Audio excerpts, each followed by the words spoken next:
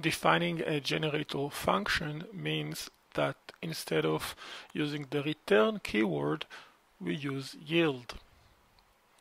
Here in this code sample, when we call the powpow function, the powpow function returns a reference for an object, an object we can iterate using foreach. When iterating that object using a foreach loop, each iteration we get the next value yield returns.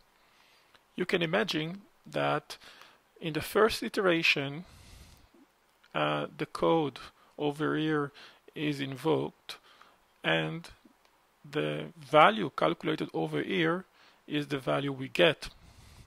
Then the next time, the next iteration of this foreach loop, uh, we get uh, the next value returned by this yield statement, just as if that object keeps its state so that it knows uh, it needs to return the next value. This way, we don't get a new array over here assigned to the other vec variable.